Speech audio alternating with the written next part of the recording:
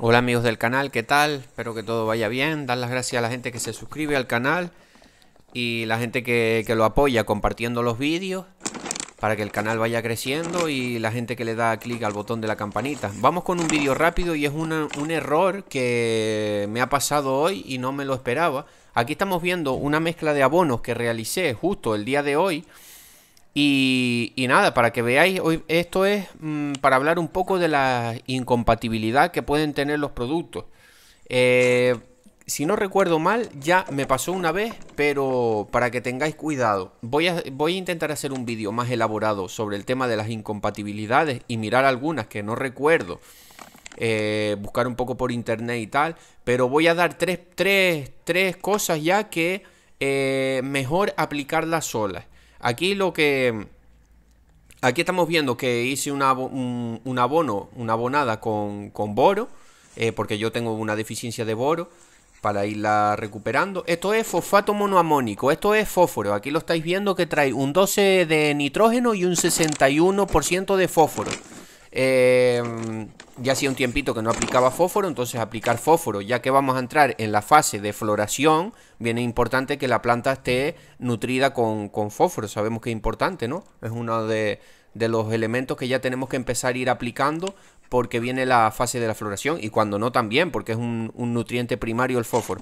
Pero recomiendo el fósforo, normalmente se puede mezclar, por ejemplo, se puede mezclar con boro, con zinc, eh, o con otros productos, pero yo eh, la recomendación es porque me ha hecho una reacción, una reacción que cuando lo mezclé en la abonadora con el potasio y se ve que hace reacción con algunos tipos de potasio líquido. Entonces, mi recomendación es, para, para tampoco alargar mucho el vídeo, ya profundizaré, profundizaremos más en, en el tema de las compatibilidades pero desde ya digo que, por ejemplo, el fósforo, que este, por ejemplo, es fosfato monoamónico. También, otro que vienen de formas líquidas, eh, acordaros, el fósforo, que es, el, su signo, su fórmula química, su signo es la P. El fósforo, cuando vienen los complejos no pasa nada. ¿Me entendéis? Por ejemplo, cuando viene un complejo de esto, un complejo es cuando te compras, por ejemplo, un saco como este, que te viene nitrógeno, fósforo y potasio. Te viene un, eh, un 10, 10, 30, por ejemplo. ¿Sabes? Entonces, 10 es de nitrógeno, 10 es de fósforo y 10 es de potasio. En esos complejos no hay problema cuando, cuando viene el fósforo en ese complejo. Pero cuando viene el, fósforo, así como, como este, que viene mucho fósforo, mucha cantidad por eso se llama fosfato monoamónico, tiene, acordémonos, solo tiene un 11 de nitrógeno y un 61 de y un 61 de fósforo, es bastante, ¿no? Es prácticamente es todo todo fósforo.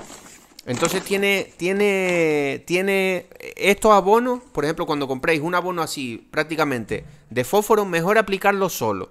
Mejor aplicarlo solo para evitar eh, problemas que como yo, por ejemplo, hoy que desperdicié mitad de abono y porque se me hizo una reacción química en la, en la abonadora y, se me botó casi todo por fuera el, producto, ¿no? no, tampoco que vaya a explotar ni, ni, ni nada de eso, pero estamos desperdiciando producto y si, si hace esa reacción química, al igual al aplicarlo por las raíces, podemos quemar raíces, ¿no? Entonces me ha hecho una reacción química y no fue con el boro, fue con el potasio líquido. Entonces eh, más que nada para que lo tengáis en cuenta. Y los otros productos que tenemos que tener cuidado siempre es el calcio. El calcio, aplicarlo solo, aunque también hay fórmulas ya de calcio que se pueden mezclar. Yo tengo un calcio aquí líquido que normalmente se puede mezclar.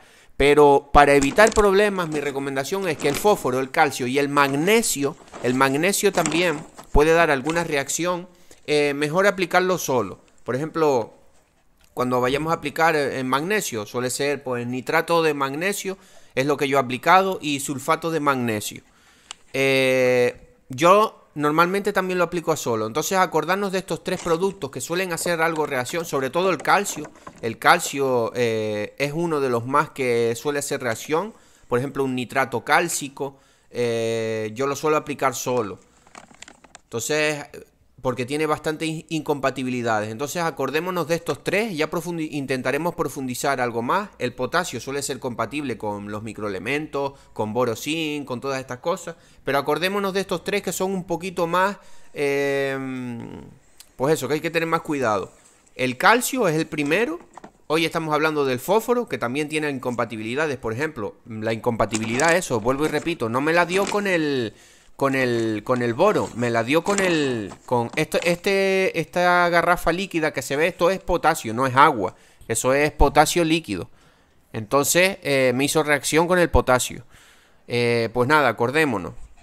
El calcio, el fósforo y el magnesio, mejor yo recomiendo aplicarlo solo, a no ser que haya que ya eh, hagamos una prueba por ejemplo, yo podía haber aplicado el fósforo con el, con el boro y no me hubiera hecho reacción.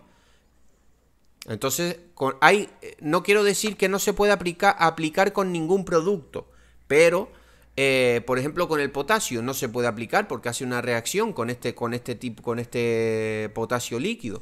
Entonces, mm, hay que tener un poco de cuidado. Eh, con el calcio, con el fósforo y con el magnesio. Eh, pues nada, un vídeo rápido, espero que les sirva y, nada, un saludo.